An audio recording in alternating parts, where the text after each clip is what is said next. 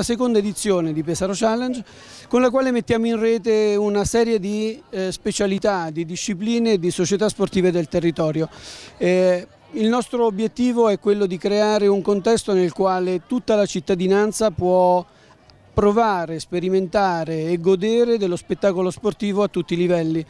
Eh, abbiamo parlato poco fa con un titolo mondiale di una specialità e ci sono titoli nazionali importanti, la nostra città di Pesaro veramente eccelle in diverse discipline e il contesto anche giovanile ci sembra il modo migliore per eh, essere di stimolo e di esempio alle nuove generazioni.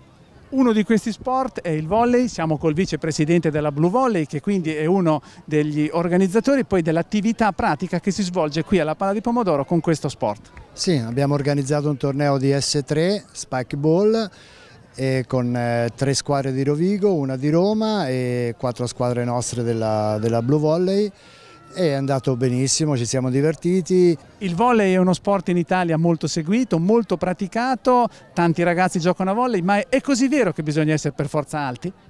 No, no, assolutamente no.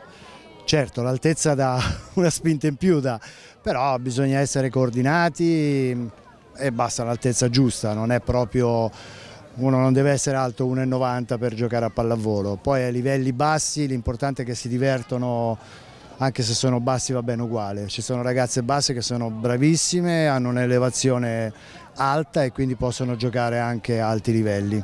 Ovviamente ne approfittiamo per un pronostico sui mondiali che ci sono in questo momento.